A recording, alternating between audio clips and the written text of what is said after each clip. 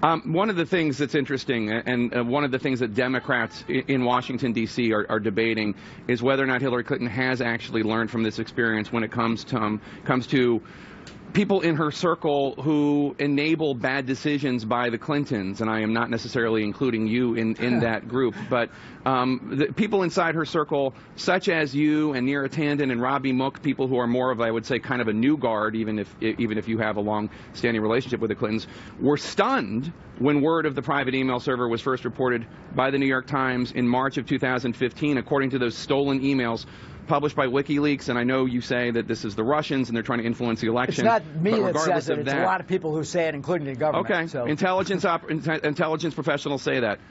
Be that as it may, you wrote to Robbie Mook on March 3rd of 2015, quote, did you have any idea of the depth of this story? Uh, Neera Tanden, a Clinton ally who's now co-chairing wrote, Why didn't they get this stuff out like 18 months ago? So crazy. You responded, Unbelievable. Neera Tanden wrote, I guess I know the answer. They wanted to get away with it. On July 25th of last year, Neera Tanden wrote, Do we actually know who told Hillary she could use a private email and has that person been drawn and quartered? You're acting like the server was just a, a simple mistake, but these emails suggest that you and Robbie Mook and Neera Tanden knew this was going to be a big problem.